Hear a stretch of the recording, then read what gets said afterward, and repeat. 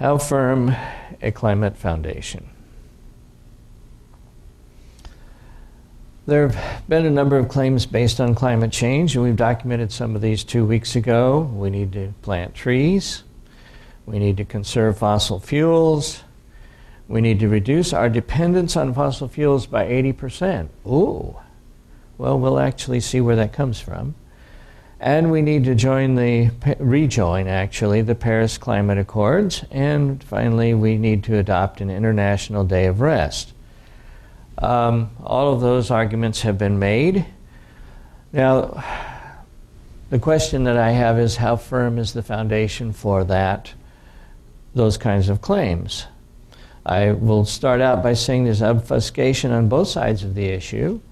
People saying things that just flat out aren't true. Um, and um, it, it actually starts with climate change itself which is really global warming. If you don't have directional change, there's no point. And whether it gets colder, it gets hotter, that's been around for a long time. The claim that's being made is that it's going to get hotter. And the question that I'll raise is how does the non specialist decide? I've done a little research, but I haven't done everything, and uh, I've probably done more research than some of you. And the question is, uh, you know, when do you have enough information to actually have an opinion that uh, is better than listening to the last guy that talks to you? And I would suggest that the essence of science is transparency. Science is a study of the reproducible. If they're not giving you data that you can look at and that, at least in theory, you could repeat, um, then uh, it's not worth much. The one thing science never should be is authoritarian. authoritarian. Now, because of that, science can be authoritative. That is to say, people who are transparent, you can see what's behind them, and, and, and what's behind them really does count. Because what you're trying to do is ascertain what nature has to say to you. And they can be a guide. But the instant that they put themselves up as the authority, rather than passing you on through to the data, science has started to become corrupt. It's only a matter of time before it, uh, uh, or it becomes completely corrupt. So if somebody says, Trust me, I'm a scientist, I'm sorry, that is the worst thing you can do. I want to see your data. So watch to see who's presenting data and who is um, telling you to trust. There are four questions that we will go through. One is there global warming? Number two, assuming there is, is it caused by humans versus, say, the sun? Number three, is it harmful? Is there historical data? And finally, what should be done about it? And of course, the answer to the first three questions determine what happens to the fourth, and the answer to the first question determines how you're going to look at the second and third. Well, let's look at the first question Is there global warming? According to the National Oceanic and Atmospheric Administration, and again, you can look this up you do not have to trust me about it. There is global warming over the last, since 19, probably 15 or so. Oh, well, actually, the latest corrected analysis. So, yeah, it's adjusted data. We're going to discuss that in just a minute. Um, it shows that the rate of global warming has continued. There's been no slowdown, according to this. Um, I assume that this is 1998, which is interesting. Well, um, now, do we have any unadjusted data? Well, we actually do. And um, the place I could find it is Roy Spencer. Roy Spencer, by the way, is not a climate denier. As he explains in his blog, on the flip side, I routinely engage skeptics who claim there is no such thing as the greenhouse effect, and it is physically impossible for the cold atmosphere to make the surface warmer by increasing its CO2 content anyway. No matter how many different ways I try to show how they are wrong, they never change their stance. If you were to ask Roy Spencer whether he believed in anthropogenic climate change, I think he would be forced to say yes. This is satellite based temperature of the global atmosphere. And this is pretty much all the data we have. Um, there is uh, there were two satellites actually, one of them in this range, and then one of them along here, and then one of them, uh, well, actually, uh, both of them along here, so you could you could match them to each other, and then a new satellite went up because the old one kind of went on the blink. Um, assuming the matching has been done well, it looks like there's global warming. If I were drawing that by eyeball, that's probably what I'd get. I didn't bother to, to do the uh, math, but you can look at it, and I think you would agree with me on that. Um, so there's been, according to this, from about point, uh, minus 0.2 to about plus 0.4. A little less here, a little less here too. So uh, 0.6 more or less. Um, uh, by the way, uh, you'll notice that this is very minor.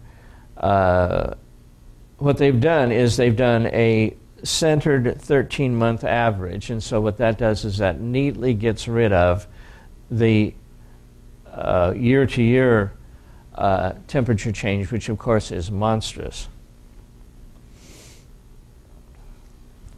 Now, if you look at this, you think, well, let's uh, take a look at it. First of all, like I say, that's got to be the 1998 1999 El Nino, which means that this point right here is 2000. And that means that if you're going to show where the other one started, it's about there. So if you compare that with, uh, uh, with, with this graph, uh, if you come out across there and draw, it really should be up here because there's a couple of extra years on the other graph. Uh, but let's take a more conservative one. Um, the length is about there. If you move that over to the scale, it's 0.8 which is a little larger, which suggests that there's a small amount of uh, adjustment. Um, maybe more, actually, because um, the the data on the other graph is supposed to be where carbon dioxide has its most prominent uh, effect. Pardon me? Well, you want to go back to the previous figure? Let's see. Sorry about that. Uh, there's the previous figure. And um, uh, there's the El Nino, by the way, 1998. And you'll notice that until the new El Nino came, there was not any global warming for a little while. If anything, if you're going to start from here, it was going down. But now with the new El Nino, you can say, well, it's slowly going up. 2017, 18. Um, Paul, compare Celsius with Fahrenheit between the two graphs. It's a good point. This is in Celsius and the previous one is in Fahrenheit. Um, you're right. You're right. So they're actually pretty close to each other. Um, 0.5 on the other one would have given you 0.9 on this one. So they're actually pretty close to each other. Um, so let's just go through that quickly and. Uh, um, if you were to draw it, ignoring the ignoring the change in uh, uh, in in degrees, you might you might possibly say that the slope should be higher, but uh, with an adjustment, it actually matches pretty well. Um, well, how trustworthy are the results on the ground? Well, one of the things that's kind of interesting is that there's a PhD thesis of John McLean at James Cook University, and it's uh, there's a couple of websites that you can get the main parts of it. Um, I haven't read the whole thesis, um, but the summary that's given at the second website is the Hadley data is one of the most cited, most important databases for climate modeling that's Hadley and the Climate Research Unit at East Anglia University, uh, or the University of East Anglia, actually, be technical. And um, thus, for pol- policies involving billions of dollars, McLean found freakishly improbable data and systematic adjustment errors, large gaps where there is no data, location errors, Fahrenheit temperature reported as Celsius, and spelling errors. Almost no quality control checks have been done Outliers that are obvious mistakes have not been corrected. One town in Colombia spent three months in 1978 at an average daily temperature of over 80 degrees centigrade. Just for, um, if you were to take the world record temperature outside of Colombia, it would have been uh, 57, 58 degrees centigrade. And that would be in the Sahara with uh, Death Valley close behind. Uh, so Colombia there for a while was, what, 20 degrees above everywhere else, which is a little hard to believe. One town in Romania stepped out from summer in 1953 straight into a month of spring at minus 46 degrees centigrade. These are supposedly average temperatures for a full month at a time. It must have been really cold there. Um, St. Kitts, a Caribbean island, was recorded at zero degrees centigrade for a whole month and twice. Looks to me like somebody just simply took some numbers and put them across, maybe added a minus 40, minus to the 46. Uh, no, that'd be hard. Um, 46 is pretty hot itself, so I'm not sure what happened to those numbers. But somebody obviously didn't edit them. Temperatures for the entire southern hemisphere in 1850 and for the next three years are calculated from one, just one site in Indonesia and some random ships. That's probably not the fault of the data itself, that's just the fault of we didn't have much data. Sea surface temperatures represent 70% of the Earth's surface, but some measurements come from ships which are logged at locations 100 kilometers inland which of course would be a little cooler usually. Others are in harbors which are hardly representative of the open ocean. So, uh, if you're doing, if you're taking temperatures from the intake inlet of the uh, of the engine cooling system, uh, which is one of the standard ways of doing it, it's a little hotter than what you get if you lower a bucket down to the sea and then pull it up and check the temperature. But, it, but at least it's consistent. Um, you might have a significantly higher temperature in a harbor than you would as you're sailing between uh, ports. I once saw an exposition of the errors that were in the land data and noted that they could account for maybe half of the temperature increase um, which would make the satellite data um, a little more uh, accurate in terms of what you expect. um, make it make more sense out of it actually, uh, because that's where the heating should be the most, is where the satellite data gets most of its data from. The important thing of the satellite data, of course, is that there um, there are only two instruments that will measure the entire Earth. That matches roughly the difference between the satellite warming data and the ground based weather data. And uh, so I think there's global warming, just probably less than is generally alleged. Um, but half of the global warming data is still in reasonably impressive. It's about a degree. Uh, and by the way, it tends to be more in the poles than it does to be than it does in the equator. And is global warming caused by humans? Well, the short answer is yes. We pump carbon dioxide into the atmosphere, and that's pretty much undisputed. Carbon dioxide is, in fact, a greenhouse gas. We also increase the methane supply by cattle farming. Um, which uh, vegetarians like me would probably not mind if it got less. Methane, in fact, is a stronger greenhouse gas than carbon dioxide, although it's not uh, put out as much. And therefore, you might expect some global warming. The real question is how much? So, um, then this is again Roy Spencer. It has been calculated theoretically that if there are no ch- other changes in the climate system, a doubling of the atmospheric CO2 concentration would cause about one degree of surface warming, one degree centigrade. This is not a controversial statement.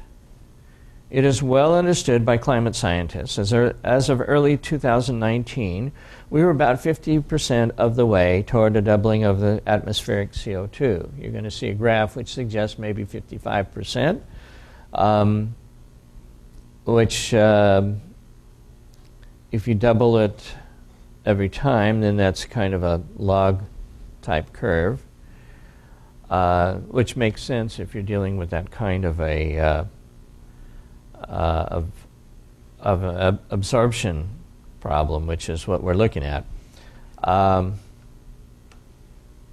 and by the way, what that means is that if you go from uh, two parts, uh, 200 parts per million to 400 parts per million, uh, you go up one degree. In order to get the next degree, you have to go up to 800 parts per million.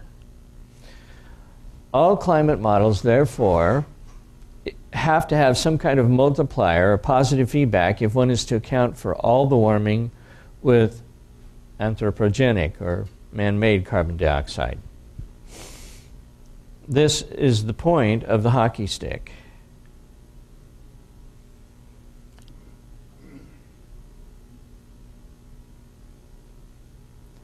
Uh, you see, if the climate has been going up and down and up and down, uh, then you're going to have a terrible time figuring out what other factors besides man made carbon dioxide and methane in the atmosphere is going on. But if you know that the climate has stayed steady all the time and then suddenly took off when we started using carbon dioxide, then you can use that to calculate the multiplier effect. And the multiplier effect may very well be significantly positive and even positive feedback to the point of ca- catastrophic.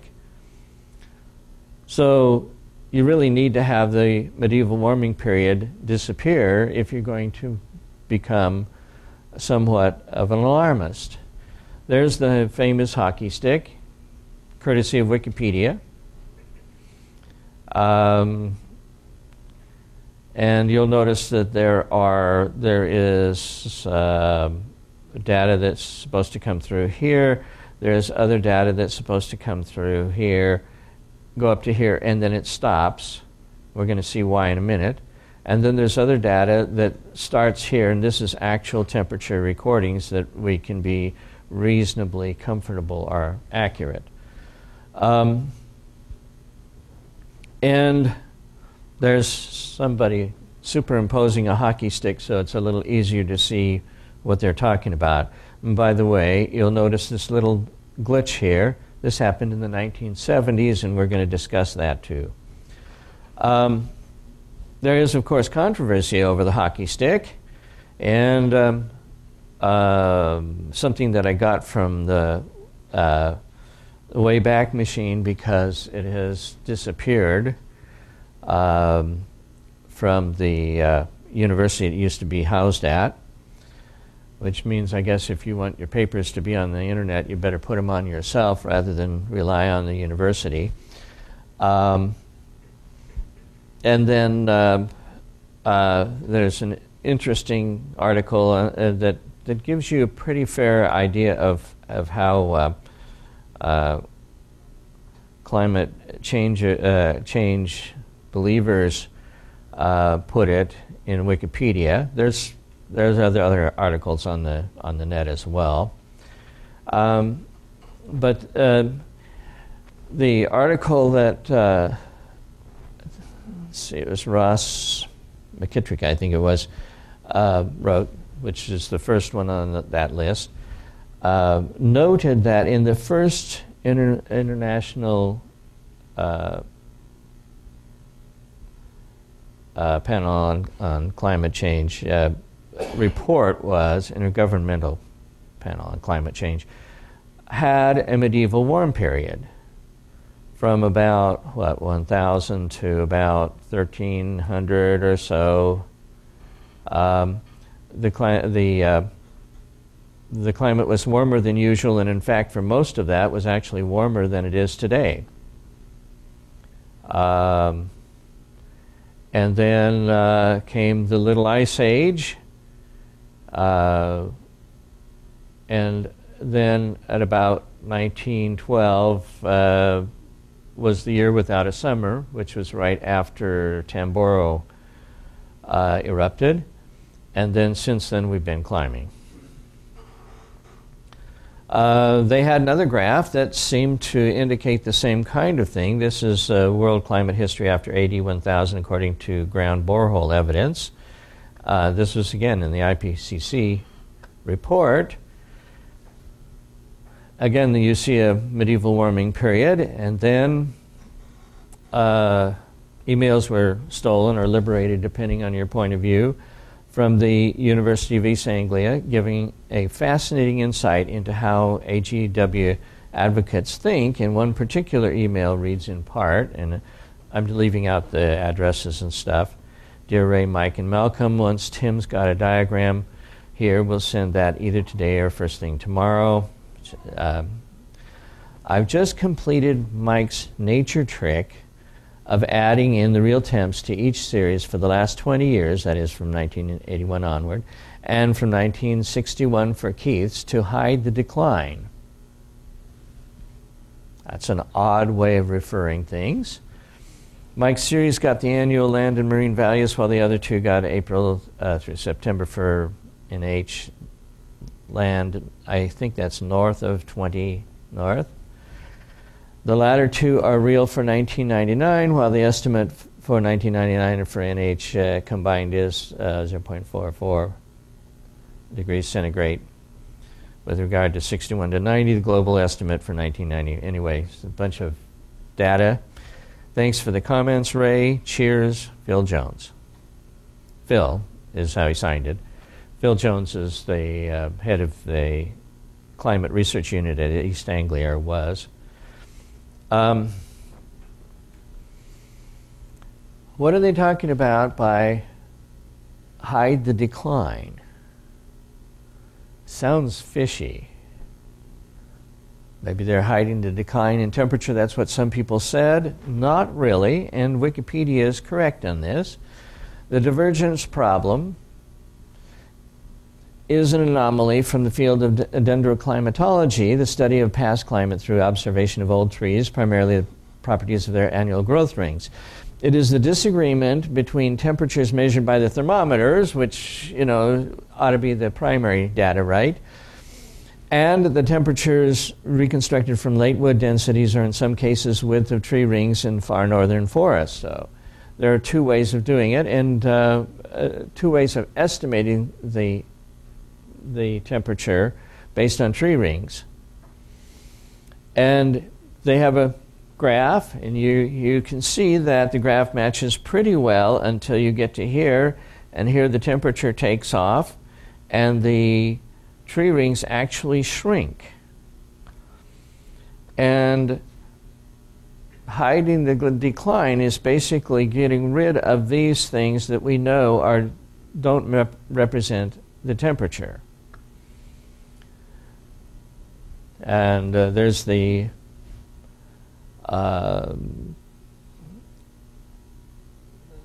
the uh, text underneath that figure.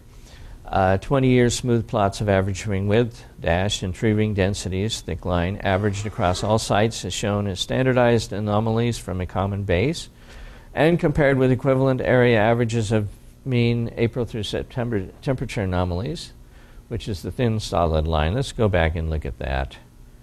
Uh, here you can see there's the thin solid line, um, temperature, and this is the, the late wood density and the ring width, and you can see that neither one of those really approximates the temperature. So you hide the decline by omitting those uh, data. Now, the deviation of some tree proxy measurements from the instrumental record since, again, this is Wikipedia um, since the 1950s raises the question of the reliability of tree ring proxies in the period before the instrumental temperature record. Hmm. What that means is those proxies might not be as good as they think. And that's a, an important point. In more recent studies, evidence suggested that the divergence is caused by human activities and so confined to the recent past, but the u- but use of affected proxies can lead to overestimation of past temperatures understating the current warming trend. Wait a minute. The use of affected proxies can lead to overestimated past temperatures. Would seem like it would be underestimated past temperatures. If you have the data in the present and the temperatures go higher than the tree rings predict, then you're underestimating the temperature. The question is which decline was hidden, and as near as I can tell, the decline is as Wikipedia stated. It was not, as sometimes misunderstood, a decline in real temperature that they're hiding, but a decline in proxies that did not match real temperature. And um, uh, the best data that I can find right now, I found some other ones that, that were easier to see, but uh, I've lost them since because I looked at this a long time ago here is some data that was flat out deleted uh, when McKitrick went to research, re-research Mann's uh, the the data again. And here's one that's hidden because obviously that's not right. The temperature went up. These ones also went down, and in fact, the data that I saw turned down as well. There. And so what happens is you just kind of omit this, all of this data, and take the temperature because, after all, it's more reliable. Well, that's fine, except for one thing. If, when the temperature goes way up, the tree ring proxies don't show it, how do we know that the temperature wasn't way up in this range and the proxies don't show it because they're incapable of doing so? Well, the answer, the short answer is you don't. So it's really kind of important to report all the data, and it's really kind of important to note that some of the data is, um, shall we say, less than stellar quality. And therefore, using tree rings to erase the medieval warm period probably isn't valid. Do remember that during the medieval warm period, uh, Newfoundland was branded as Vinland. I don't think too many people want to grow grapes in Newfoundland right now. Grapes were grown in northern England, um, which again is not very good uh, grape growing country right now. Um, and so it suggests that there was, in fact, a medieval warm period. But the question is if we know that other things can cause global warming, then why should we attribute all of the warming now to, um, to anthropogenic effects rather than perhaps some of it? Then a model that assumed it was man made would wildly overestimate the warming that would actually occur and control and the control that we could exert over the global temperature, at least by adjusting our carbon use.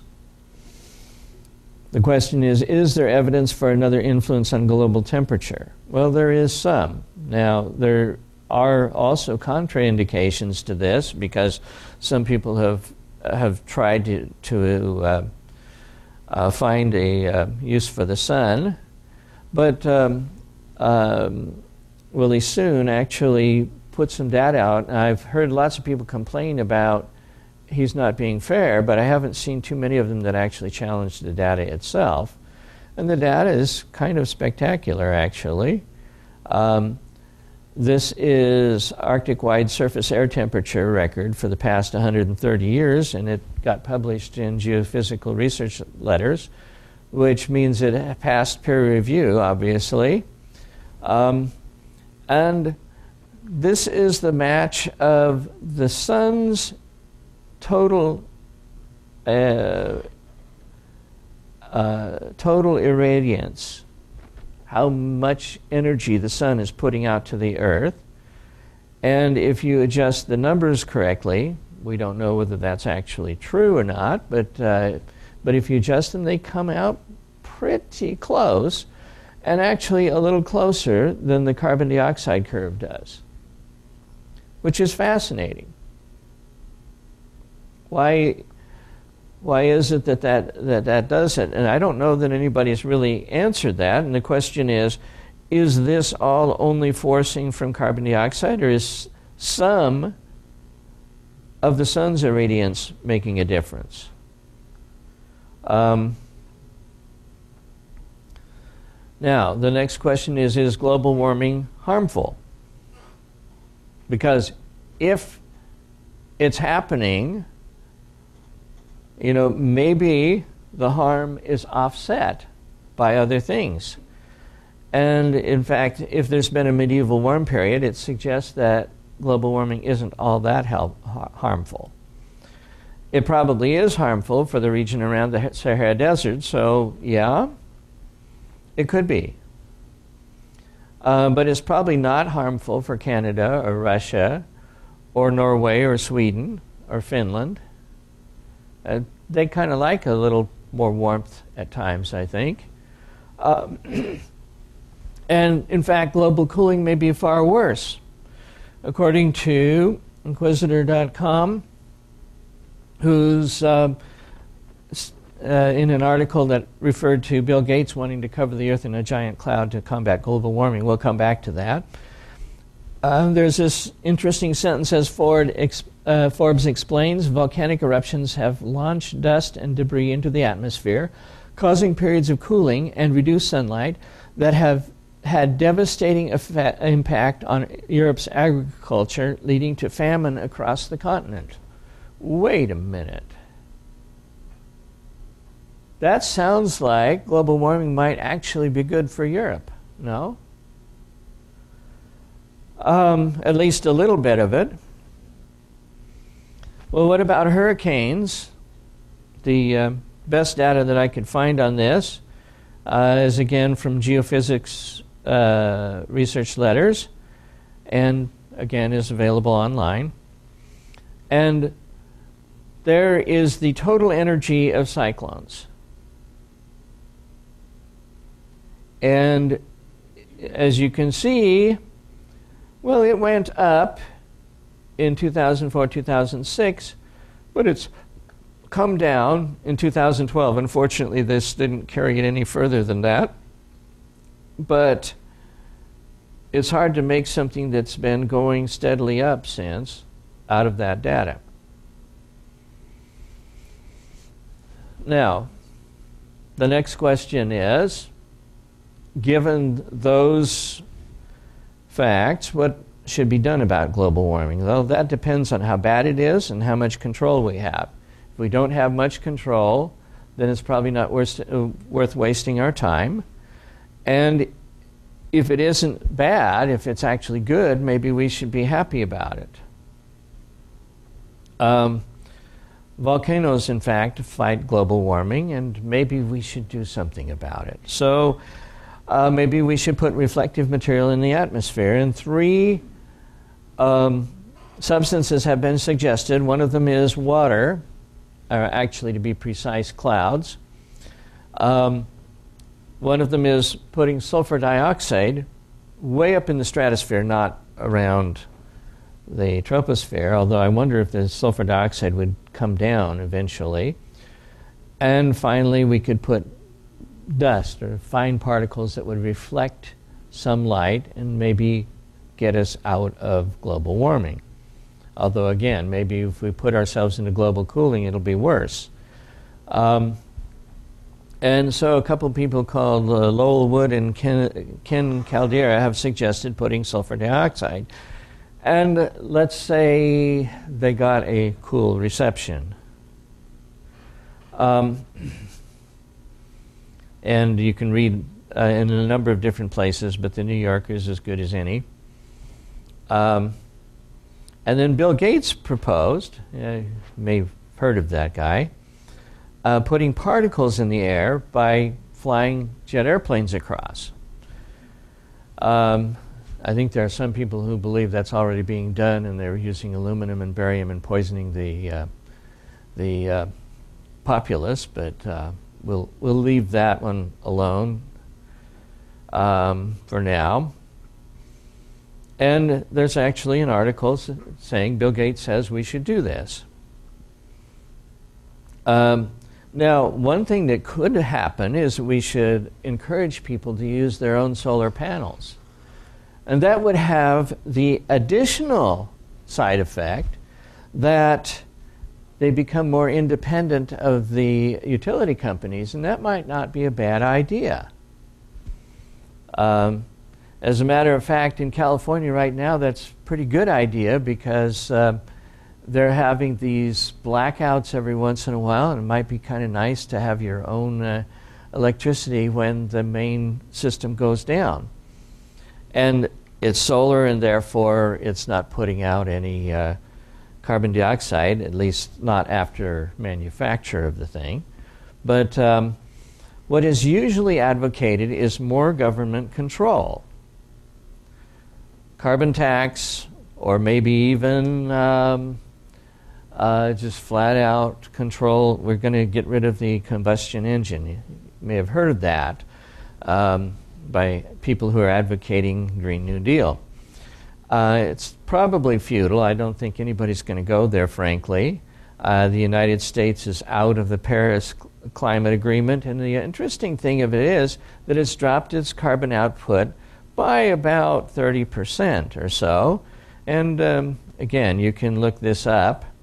Um, this is collected by Watts Up With That, but it's actually uh, a university that did the the research, and you can see that if you start at 100% at two, 2001, we've dropped down to about 40%.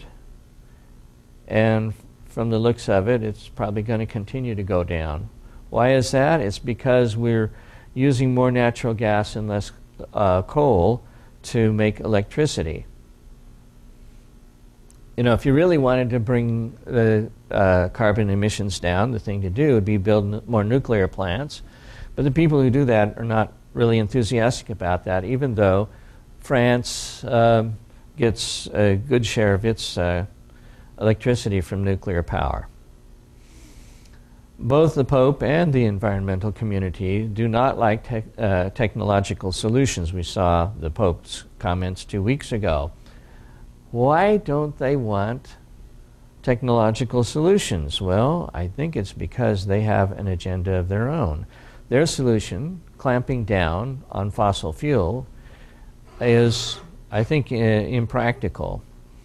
Uh, but it makes for big government control, and there are those who kind of like that side effect. Um, the numbers, in fact, do not add up uh, if you're going to clamp down on uh, people as carbon emissions. For example, an 80% reduction in carbon emissions, in fact, the Waxman Markey bill uh, advocated for 83% reduction. Um, and you can look it up. This is Wikipedia, so I don't think they're biased in favor of, uh, uh, of climate skeptics. And it says that the U.S. is uh, uh, the, U- well, the U.S. is uh, putting out six billion tons of CO2 per year, which they would reduce down, but an 83% would give you one billion tons, maybe 1.1, but for practical purposes, one, which is about 20 tons per person per year, is what we're currently using. Uh, by the way, uh, 0.4 tons per year is just from breathing. So, if you want to bring down the carbon emissions, I guess you could go around and killing every 10th person and probably bring them down, but I'm not sure that's where we want to go. Um, this the last time we were down to uh, two and a half tons per person uh, was in 1905 or 1910, depending on whose statistics you're using. Well, that's not very good. In case you're wondering where I'm getting some of the statistics, it's from a, uh, a video that uh, uh, somebody put out that uh, seem to have their, their numbers pretty well straight. Um, in 2050, we'll have 420 million people if we keep on going at the rate we're at. Um, more, I suppose, if we have open borders. And uh, that means that we'll have to cut it down to 2.5 tons per person. Well, really 2.1 because you've got to count the, uh, the breathing that would put us in the neighborhood of where we were in 1875, or where Belize or Mauritius or Somalia or Haiti are right now. Um, France and Switzerland, which get 90% of their power from nuclear and hydropower, which of course don't put out any uh, carbon, still have 6.5 tons per person. And of course, we're dealing with a much larger country, which means we ship things from Chicago to New York, and if you ship things from one end of France to the other, you aren't getting anywhere near that. Um, and so we're going to wind up with more uh, carbon. You know, we're not going to get there.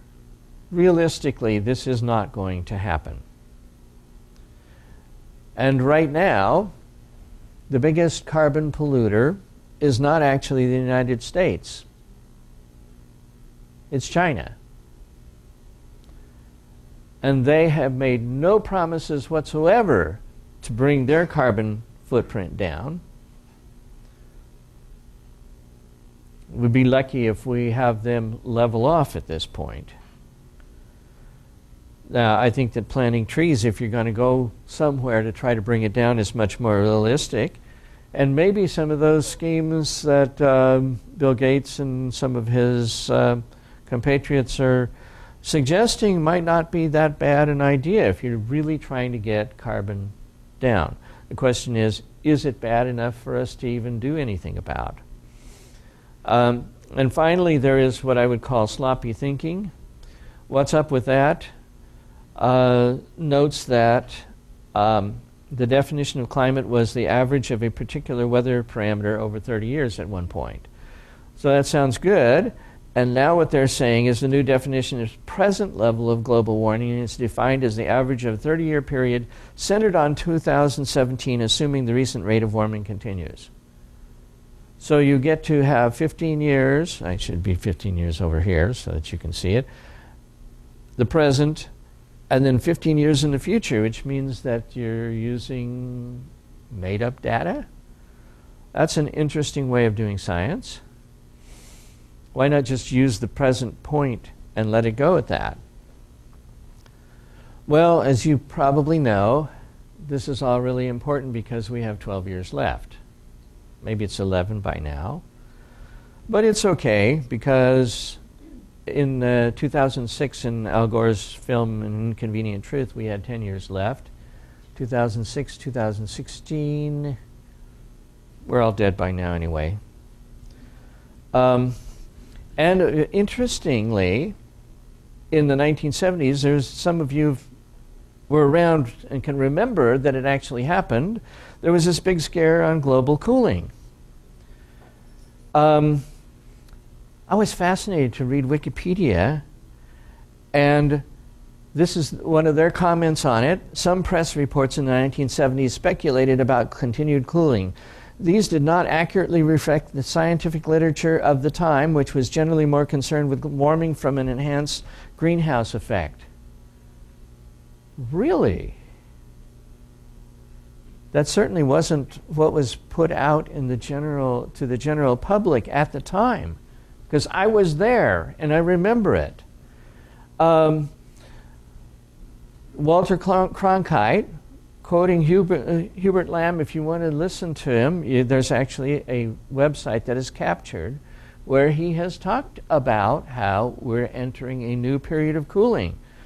You can't get much more authoritative for that period in the literature than Walter Cronkite. And by the way, um, you remember the uh, this little some press reports. If you click on that, it talks about newspapers. Walter Cronkite was not exactly a newspaper, and he wasn't some. He was probably the most authoritative person, or at least the person, the most trusted person in news at that time. Um, again, I was there, I remember it. Also, Newsweek, and there's a fascinating, this is put out by somebody who believes in global warming and who is, I think if you read, you can hear, read underneath the, that they're covering for the scientist. On April 28, 1975, Newsweek published a provocative article, The Cooling World, in which writer and science editor Peter Gwynne described a significant chilling of the world's climate with evidence accumulating so massively that meteorologists are hard pressed to keep up with it. It doesn't sound like there's a bunch of people saying, no, no, no, there's warming, does it? He raised the possibility of shorter growing seasons and poor crop yields, famine, and shipping lanes blocked with ice, perhaps to begin as soon as the mid 1980s. Meteor- meteorologists, he wrote, were almost unanimous. Where have we heard that before? Uh, in the opinion that our planet was getting colder. Over the years that followed, Gwynne's article became one of the most cited stories in Newsweek's history. And Gwynne was, uh, Gwynne's was no lone voice, at least in the popular press. Scores of similar articles, some with even more dire predictions of a little ice age to come, appeared during the 1970s in such mainstream publications as Time, Science Digest, the Los Angeles Times, Fortunes, the Chicago Tribune, New York Magazine, the New York Times. That's about as authoritative as you get, isn't it? Um, the Christian Science Monitor, Popular Science, and National Geographic. Global cooling is coming from everywhere. A worldwide freeze proved irresistible to feature writers prowling for a sexy news peg. Hmm, I wonder if you could do that the same with global warming. The media are having a lot of fun with this situation, observed climatologist J. Murray Mitchell, who sounds like a global cooling skeptic. Gwynne admitted that although his article accurately captured threads of meteorological thinking threads, Since they're almost unanimous. I didn't tell the full story back then. He left out the suggestive but then not conclusive evidence of CO2 increases in the atmosphere. Journalists wouldn't do that, would they? Um, he could not have possibly known that initiatives to reduce air pollution would quickly erase the blip of cooler temperatures in North America and help send temperatures up. Gwynne also said he was overenthusiastic in writing his Newsweek article and incorrectly suggested a connection between global cooling and severe weather in the U.S., an unjustified leap. He later said that uh, he'll probably be remembered for this uh, as his main achievement, which is kind of interesting. Uh, he was feeling sheepish about that. Well, if uh, he was not alone, you can read in Real Science, uh, RealClimateScience.com.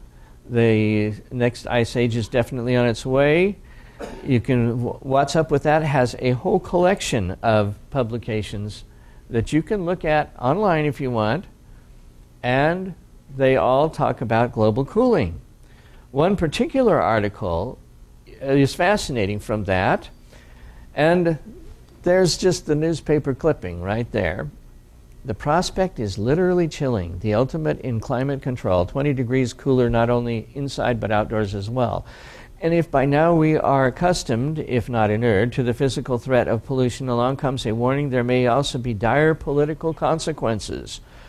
Dr. Arnold Wright, an expert in the legal aspects from Cleveland's Case Western Reserve University, suggests pollution or the effect to control it could be fatal to our concept of a free society.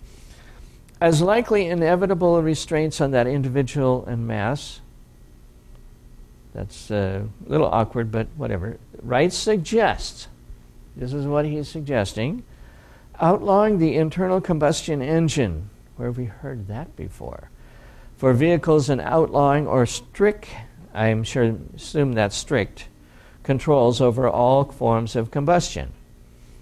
Rigid controls on the marketing of new products, which will require, be required to prove a minimum pollution potential. Controls on all research and development to be halted at the slightest prospect of additional pollution. Perhaps even population controls. Where have I heard that before? Um, the number of children per family prescribed and pu- punishment for exceeding the limit. They're already doing that in China. In Rice's view, we will be forced to sacrifice democracy by the laws that will, be, will protect us from further pollution. Wow. Just change uh, from global cooling to global warming Amazing how many of those bullet points still are being advocated, which raises an interesting question. Is the advocacy really uh, dependent on the data or superimposed on it? But this time we have it right. You know, last time they listened to the wrong scientists. Well, actually, one of them, the, the one whom Walter Cronkite listened to, was the founder of the climate research unit at the University of East Anglia. Yeah, the one that had Phil Jones and had uh, global warming, uh, the global warming scandal.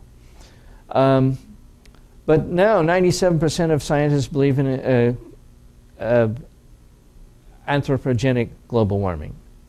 Where does that number come from? Well, was it a survey of scientists?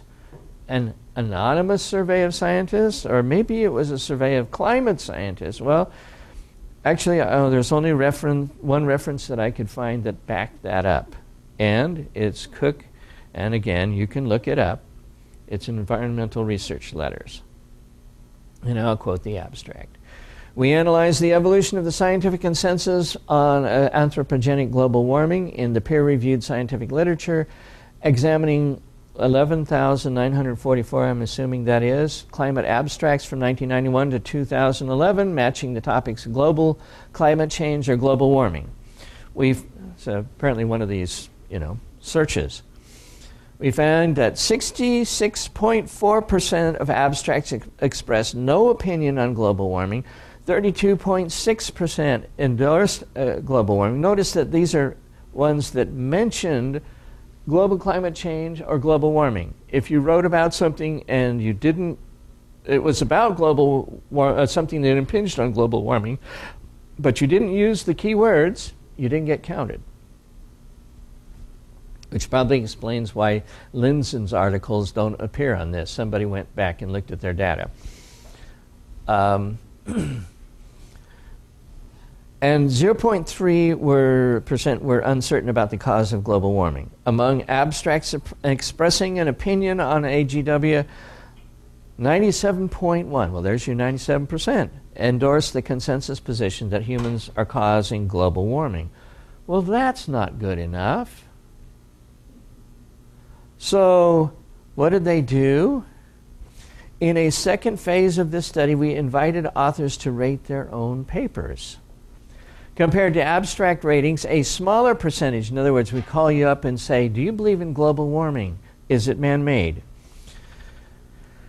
A smaller percentage of self rated papers express no positions on AGW, about a third now, so they cut that 66% in half. Then, among self rated papers expressing a position on global warming, 5, 97.2 endorsed the consensus. For both abstract ratings and author self ratings, the percentage of endorsements among papers expressing a position on global warming marginally increased over time. Our analysis indicates that the number of papers rejecting the consensus on AGW is a vanishingly small proportion of the published research. That's how 97% of scientists agree with global warming. Well, actually, it's 35% that express no opinion. And the weird part is that, as you have seen from what I have said so far, if somebody were to push me and I was caught up in that thing, I would have to say, yeah, I think there probably is man made global warming. I just don't think it's the dominant factor. But I'm not sure that I would be approving what they want you to believe or what people who use this data want you to believe. Now, my own take on this is very short. I sure wouldn't bet the house that we need to, in, to institute intrusive measures to save the planet. Not Sunday observance, not the Green New Deal. Now, I do observe the Sabbath, and so technically I'm doing what they want. But, you know, and there are other things that I do that are considered green, including I do have. Um, uh, solar panels that supply probably 95 plus percent of my electricity. Uh, not cap and trade. I think that the use of climate change for the furtherance of quasi religious aims, whether Sunday observance or the Green New Deal or anything like that, is not really valid. Those things may be a good idea on other grounds, but I don't think you can support it using climate change. But that's my opinion. Now it's your turn. Go ahead. The journals are peer review uh, journals that would not allow certain articles to even be uh, presented. Um, let's see. Actually, let's go and look at that because the uh, we have proof that people were interfering with uh, with uh, journal opinions. Uh, let's see.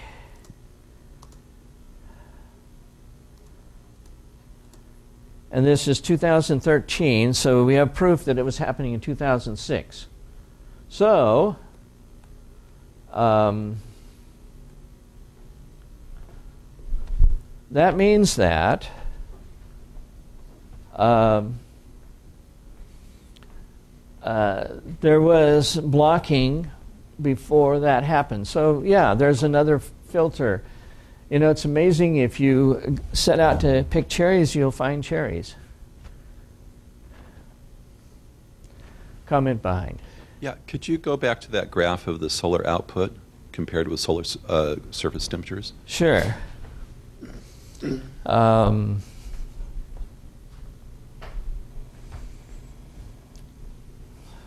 see, way faster to do it this way.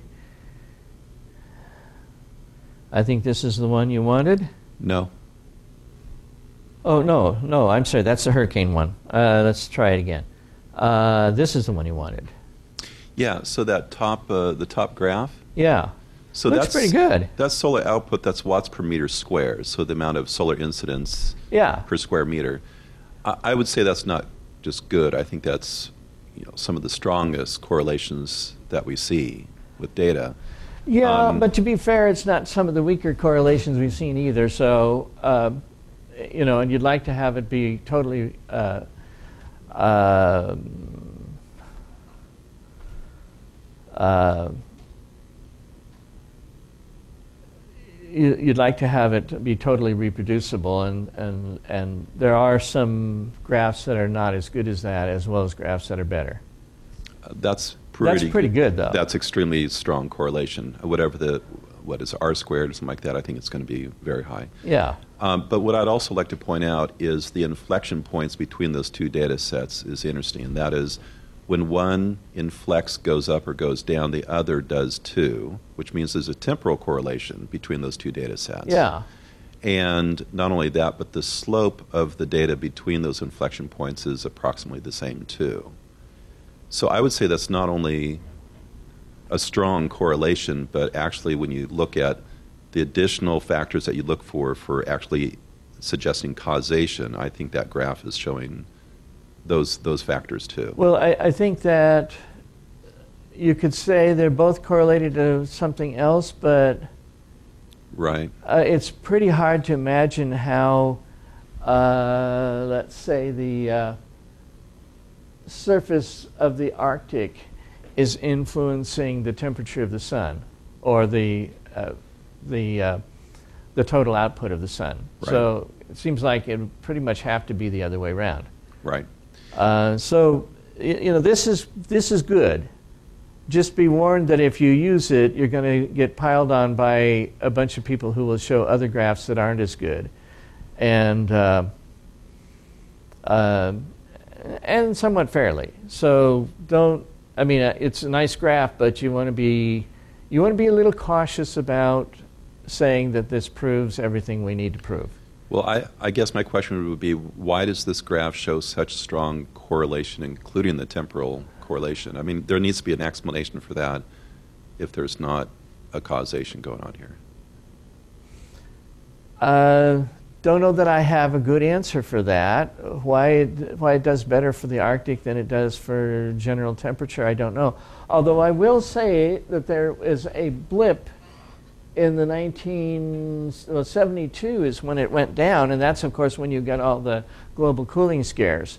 There were a couple of winters that were really, really cold during that time period, and that's why Newsweek and everybody picked up on it. And that's why the the population was receptive to that that kind of uh, uh, claim that we were heading towards a new ice age. But what I would uh, just Go- like to point ahead. out on this graph as well is that is typically this correlation is rejected by the, the climate alarmists for the reason that the solar incidence is called the solar constant and the amount of variation. If you look at those numbers there this is varying between say one 1369 and uh, 1372 let's say. Uh, percentage wise it's not it's not that great um, and so my understanding is is that the variation in output, you know, watts output from the sun, cannot explain the difference that we've seen in the temperature changes on the surface of the Earth. Yeah, although, you know, if if you're going to argue that way, then uh, you could say, well, maybe there's some positive feedback of where you influence other things, such as cloud cover, because you Right. have more heat or something. So, um, I, I mean, if you can do that for carbon dioxide, it seems like it would be reasonable to to argue that way. Maybe there's a combined effect. And in some data sets, that little blip is much narrower than what it's shown there. Let's see, I think we had a comment here. if, uh, if my understanding is right, the uh, glaciers have been steadily melting for quite a long time. How does that fit into this? Uh, you know, it'd be interesting to ask did the glaciers make a short advance during the 60s and 70s? uh, to correlate with the um, uh, to correlate with that little blip in the temperature. And I don't know the answer to that. Maybe somebody else does. I think uh, there is evidence that glaciers that originate at high altitude have been advancing uh, during the last uh, 15 or 20 years. The ones that originate at low altitude have been um, Melting back. melting back. Um, but the explanation for that that's usually given is that this is what we would expect. And the reason we are supposed to expect it is that um, there is going to be more evaporation, and the the the uh, glaciers that are originating at higher They're altitude getting more snow. they're getting more warmer. snow. Yeah. Now, I would feel much more comfortable if somebody, let's say 20 years before this, started saying this is what we would expect. Somehow, uh, expectations after the fact seem to be malleable, shall we say?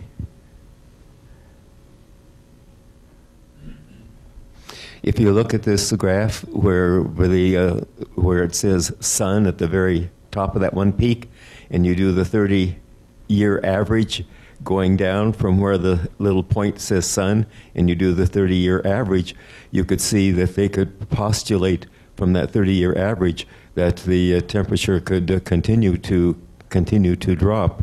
So that 30 year average could be actually working against them uh, when you look at this particular graph starting at the point where the sun is at that peak. You know, the, the odd thing is, I would feel much more comfortable with a one year average. Uh, and the reason I say that is because when you do 30 years, you're smoothing out everything. And if you think about it, what's really happening at 30 years is you're, every time you move one year, you're chopping off 30 years before and you're adding 30, uh, pardon me, 15 years before and you're adding 15 years after. That's what you're really doing is you are not really measuring. I mean, it, it's a blunt instrument, but but the part that it does measure is what happened 15 years before and 15 years after.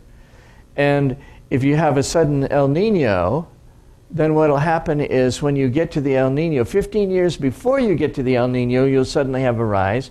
15, minute, uh, 15 years after the El Nino, you're going to see a, a drop. So it's, if you think about it, 30 year average is not nearly as good, I think, as a, as a one year average.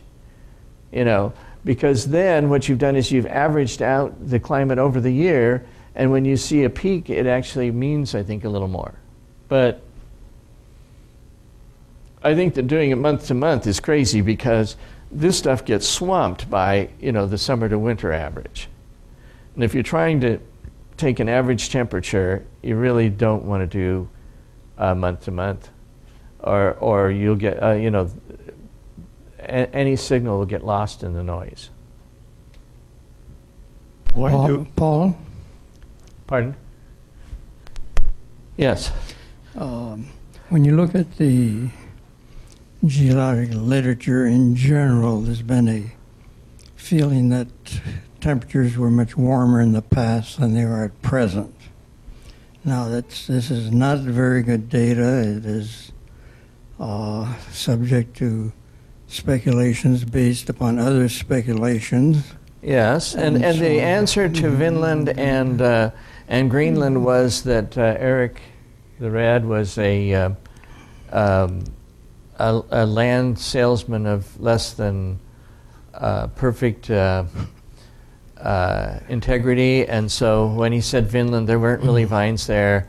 When he said Greenland, it wasn't really green there, and uh, although you'd think that after rowing you know, however many miles across the ocean, when people got to Greenland and they found out that it was all ice all the way out to the to the coast, that they would um, not be too happy about the land they'd sold, and he might not last very long at that point. But Um, there is a little bit of data that uh, does suggest that uh, warming may not be to, uh, caused by anthrop- anthropocentric uh, activity. Uh, above the Arctic Circle now, uh, you can find uh, salamander skeletons. And so, and you can say, well, maybe global warming, I mean, uh, global migration was involved in this and so on. It's a very complicated picture.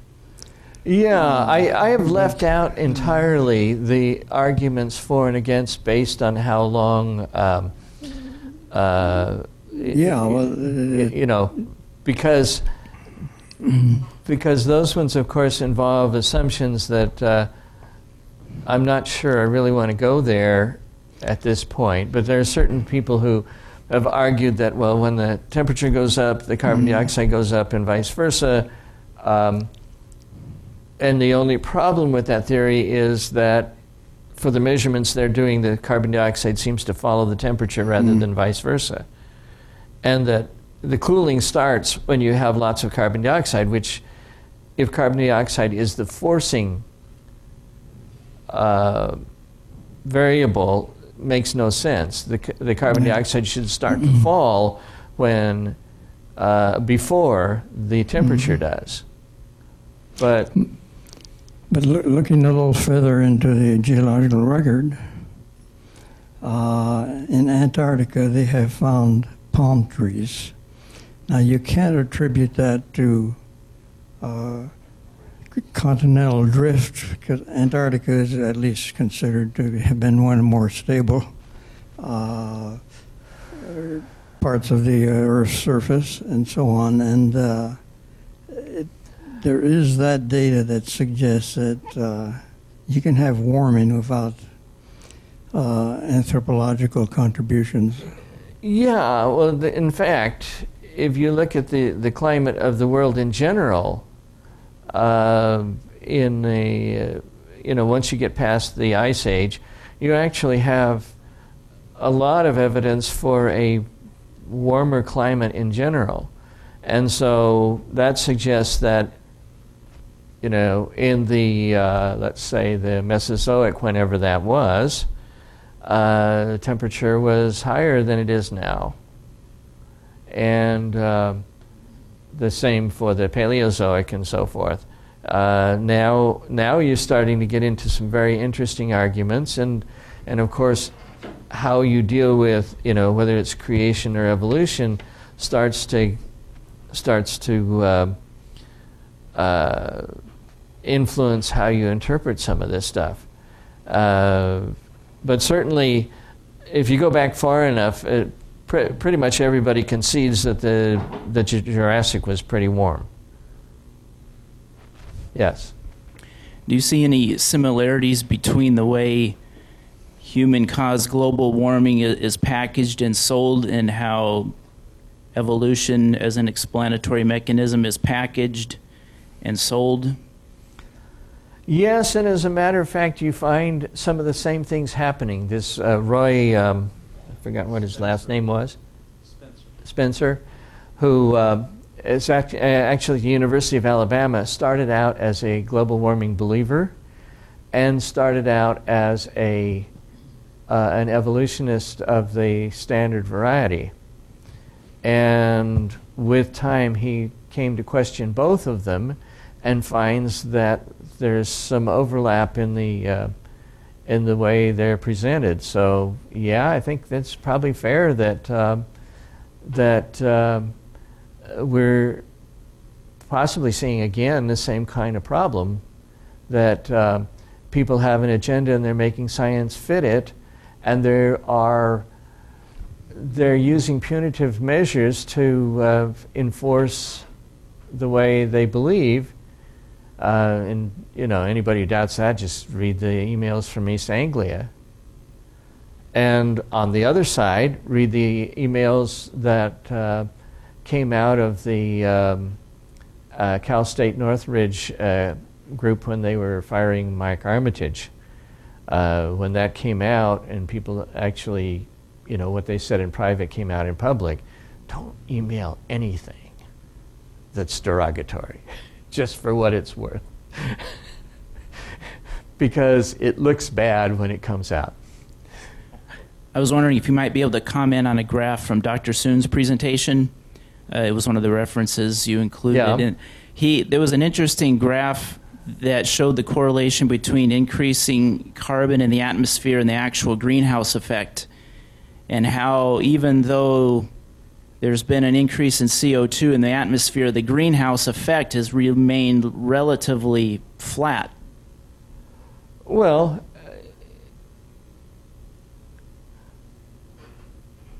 I think Soon sometimes overstates his data a little bit, uh, but but it is interesting because if you don't assume, if you assume, don't assume that there is feedback, that all you get out of carbon dioxide is what you put in, then you have to have something else to help move the graph because clearly there's been warming.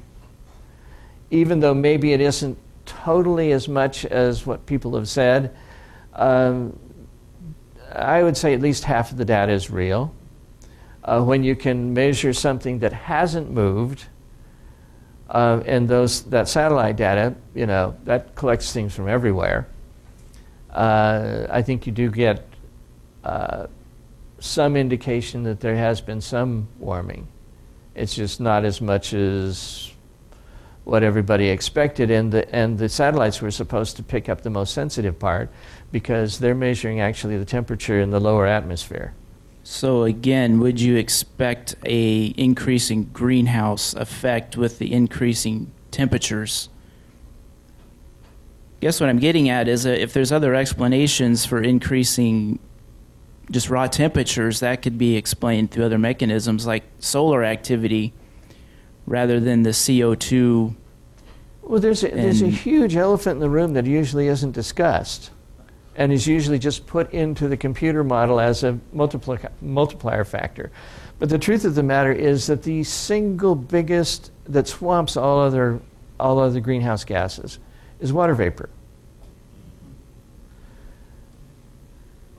What happens with water vapor when you heat up the atmosphere? Well, there's more of it. And I guess you could say that that's a multiplier effect, but it would multiply solar activity just as well as it would multiply um, uh, carbon dioxide. And you know, if carbon dioxide doesn't fit the finer stuff, and some measures of solar activity do, it makes you wonder. Uh, comment back here.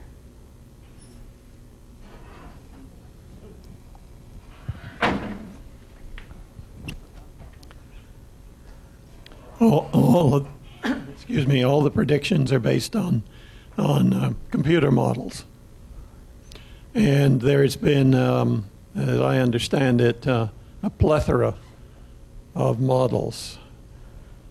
Those models have had an opportunity to work with data for the last 15, 20, 30 years. Are any of them doing much better than the rest?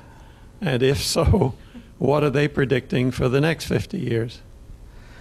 Well, the climate change people tend not to want to revisit the computer models. If they revisit anything, uh, I mean, Wikipedia spent, uh, you know, a good page and a half trying to convince me that what I saw in 1972 wasn't real. Uh, that was the, the real climate scientists actually knew. You know, it seems like somebody would say, wait a minute. Uh, actually, we do have egg on our face, and it's best if we wipe it off a little bit. Uh, certainly, the, uh, the popular press did, and there were, uh, the popular press doesn't step out doing this out of whole cloth. Somebody told them. So there was a significant portion, maybe it's a minority, you can make it that argument, but if it was a minority, I'd like to have somebody say, and this article, and this article, and this article, and this article said, uh, don't worry about global cooling. And everybody listened to the two people who said there was global cooling. If I had something like that, I'd feel a little more comfortable, but boy, you read the journal people, and they seem to be saying, yeah. And I talked to everybody that I talked to, almost universally said, I wonder if they'd pull out 97%.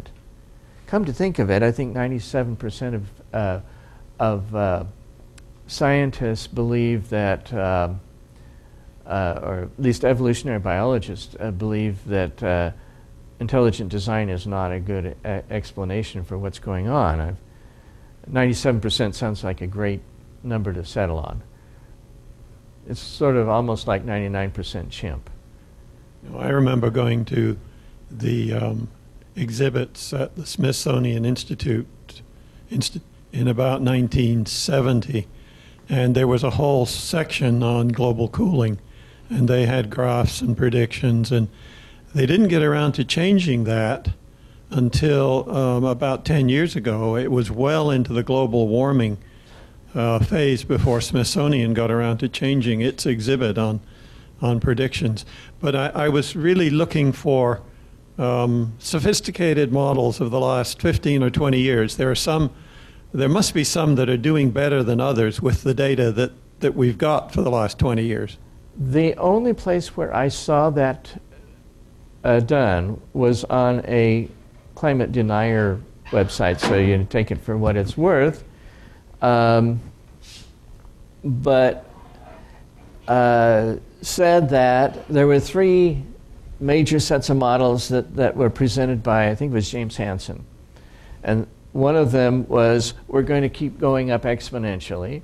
One of them is we're going to keep going up but, but level, uh, you know, at a steady rate. And one of them is we're going to level off where we are in terms of how much uh, temperature rise we get. And the one that fit the data best was the one that said we we're going to level off. But of course, we didn't do that. And in fact, the carbon dioxide is going up as if it was exponential, but the temperature leveled off. Uh, I mean, if you fit it to the actual data we have. Uh, and that suggests that maybe the climate change models were a little overenthusiastic. And uh, there was one other website that said, here is, you know, because there's hundreds of actual models. And they had a, you know, 95% confidence limits kind of thing. And that if it were not for the El Nino of 2018, well, we had actually crawled off into the lowest 5%. And then the El Nino put us back up into the main area. And then now in 2019 it's cooled again and we're back out again. So it suggests that maybe the climate models were a little over enthusiastic. The, there was another graph Dr. Moon showed. I don't know if you could comment on it, where they they tried to use some of their modeling to predict actual seasonal temperature changes on some kind of a plot graph. And there was probably at least 50 different models they used to try to predict out, you know, a certain number of years where using their modeling where they thought seasonal temperature should be. Um, uh, you mean in, instead of doing this for 20 years, you're actually going to do it for the next three months. No, it was over a period of years, just as a way of showing how accurate their modeling really was to real life changes that you could measure over time. But it was, but it was on a on a on a year to year basis rather than on a month. Uh, yeah, it was seasonal. Uh, seasonal, right. How'd At any rate, the graph he showed, uh, their modeling could not even do a good job predicting seasonal weather patterns for the next few years in advance, let well, alone try to say where the Earth is going to be 10 years from now yeah. when everything is supposed to end. Well, uh, it's uh, the world will end. I'm, I'm sure of that. But one way or the other. Yes, uh, go ahead. What? Oh, did I miss somebody? Anyway, this won't take long. I haven't heard anything about the. Oh, okay. No, that was where I was going with it. I haven't heard anything about the raising, uh, water raising. Uh, back in Maryland, where I come from, the uh, islands in the Chesapeake Bay are disappearing. Uh, these were peop people had homes on them and everything, and now they're inha- not habitable. What about this? What's causing all this uh, water that's rising? Water rising is a mixed picture. Um, the nearest that I can read is that it's gone up about two feet average. Now, of course, tides do more than that, so this is is difficult to uh, sort the noise from the signal. But it looks like it looks like it's actually going up. But the prediction is 25 feet if all of Greenland melts. So that's panicking people who live near the coast, and understandably so. Uh, it hasn't happened yet, but it's moving in that direction. Uh, that's one of the drawbacks that would happen with uh, a warmer climate, and I think it should be taken somewhat seriously. Uh, but yeah, it's one of the things you can see. And uh, the one thing that you have to keep in mind is that it's highly variable. That in, in Norway, for example, the sea level is actually dropping. Probably because Norway is rebounding from being uh, you know, covered with ice for so long. And it was pushed down, and so now it's slowly coming back up. Uh, so it's not it's not a total picture. Uh, if Greenland were to melt, uh, Antarctica probably doesn't matter because most of that stuff is is floating anyway, especially the the Ross Ice Shelf. And if it melts, it's not going to really change much. But Greenland will change because there is actually, uh, you know, ice that's stuck up above the water that's not already floating, and so uh, you'll get quite a bit of uh, uh, quite a bit of uh, uh, sea level rise from Greenland melting. And it also raises the interesting question: What about things like Baffin Island and stuff like that? Uh, you know, I didn't even touch. There are a lot of things we could have covered, uh, like like the polar bears are actually uh, coming back. They're they're getting more more populated rather than less. Why is that? I don't know that anybody knows for sure, but the fact of the matter is it is. And the person who publicized that wound up getting fired from her job. So. That's right, and uh, the, the polar bears are just uh, tearjerkers for the little kids, and you know, it's just a shame. Except that it's not a shame; they're actually doing pretty well, however they're surviving. Um, so there's a lot of cross currents, and it's hard to make things really simple uh, because it's a complex world. And in fact, that, I think that's one of the problems is that, that in order to make it impactful, people have made it simple. And I don't really think it is that simple. But maybe we'll make this the last one here. Here- here- There's a, a, a mic there. Thank you. Um, I kind of uh, picture this as, as kind of a ship that's heading in a certain direction. All the scientists are on the ship and they're they're debating what's true and what isn't. Doesn't matter. It's going in the, it's going in the direction it's going. And uh, so the Pope getting involved with this and uh, calling the world leaders together next May. Uh, what the scientific arguments are are no longer valid because it's going to happen. How long did global warming last at the Smithsonian after people Yeah. pretty much abandoned it? Yeah. So, uh, you know, just uh, don't expect this to turn around in the next, uh, you know, this video is not going to change uh, nothing's, in my opinion, nothing's going to change. It's it's going where it's going, simply by uh, the uh, the world taking it that way Yeah. for uh, Yeah. obvious reasons other than just scientific. Yeah, yeah. Anyway, uh, we'll uh, see you, those of you who can make it next week.